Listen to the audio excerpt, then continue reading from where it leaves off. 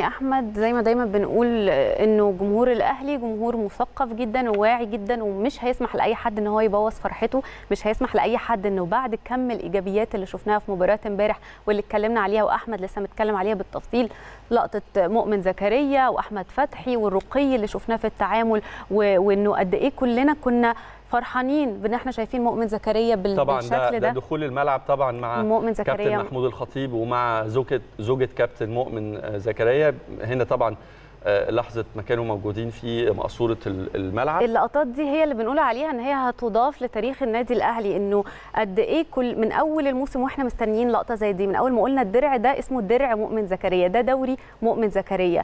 كل اللقطات الإيجابية دي اللي خلتنا وإحنا بنتفرج يعني دايما بنقول إنه الجمهور الأهلي شبع من الدوري بس فعلا ده خلى الدوري السنة دي الموسم ده ليه طعم تاني تماما. فمش المفروض إنه هنسيب كل ده وهنركز في سوء تفاهم بسيط حصل طبعا كل التقدير لكابتن محمد فضل وكل التقدير لكابتن كهربا اللي فعلا علاقته كويسة بكل الناس وبكل زملائه.